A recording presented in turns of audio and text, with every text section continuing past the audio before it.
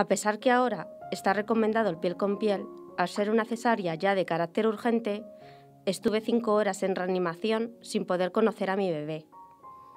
Cuando me llevaron a mi habitación ya había estado en brazos de varios familiares, con lo que su encuentro conmigo no fue ni mucho menos como yo esperaba, ni mucho menos un encuentro de película. Al cabo de una hora de conocerle, se lo tuvieron que llevar ingresado por falta de adaptación pulmonar.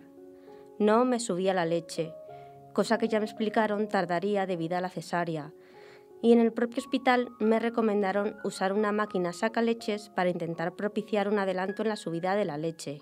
Al cabo de 24 horas de usar el sacaleches, pezones con heridas, inflamados, me ardían. No era capaz de aceptar poner la boca de mi bebé ahí,